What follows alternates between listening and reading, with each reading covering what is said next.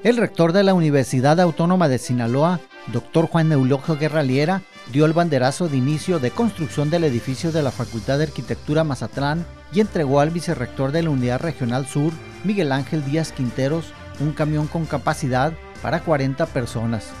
Sobre el nuevo edificio para la Facultad de Arquitectura Mazatlán, cuya construcción se puso en marcha, el rector de la UAS dio los siguientes detalles.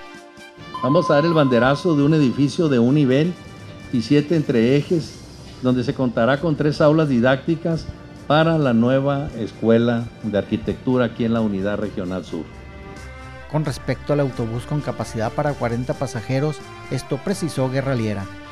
Es un camión Volvo 2017 para 40 pasajeros con una inversión de 4 millones de pesos. Este camión estará bajo la responsabilidad del señor vicerrector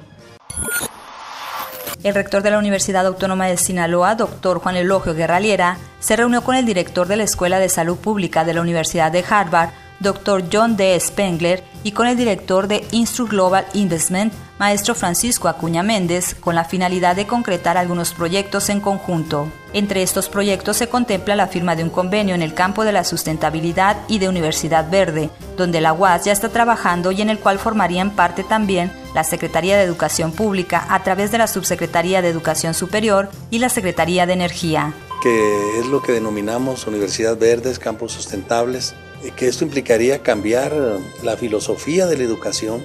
Hoy se habla de educación sustentable, pero no solo en la cuestión tecnológica, sino también en la conductual a través del cambio de cultura, tener mayor respeto al ecosistema, a tu medio ambiente y también garantizar que en tu conducta a futuro puedas mantenerlo.